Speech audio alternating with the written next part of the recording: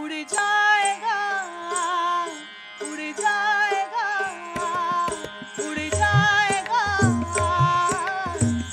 हंस जगदर्शन का।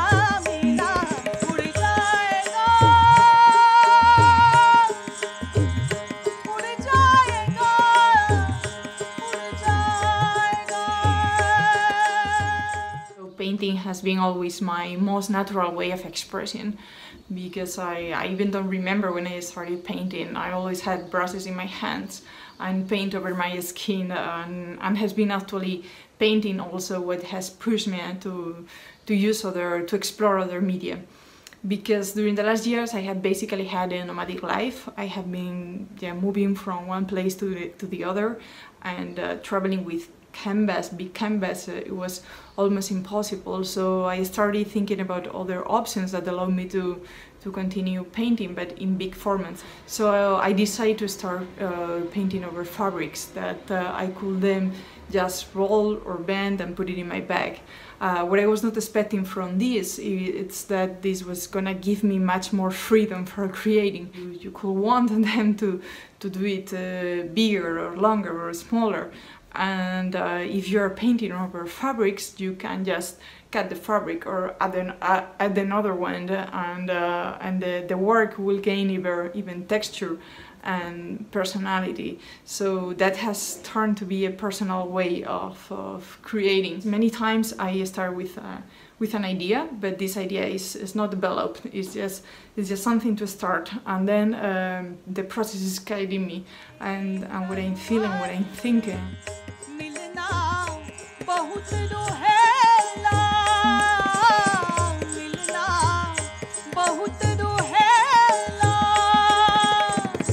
ना जानू किधर गिरेगा ना जानू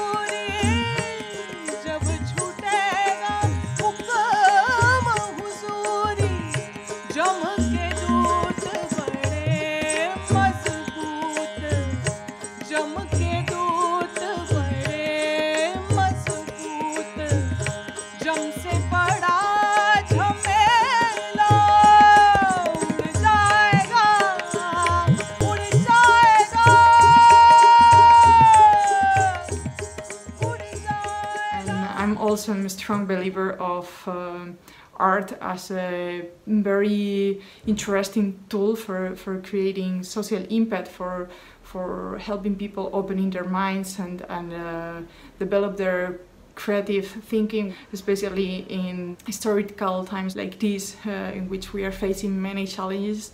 Now the coronavirus, but also uh, social challenge, environmental challenge um, that we need to find a way to, to solve.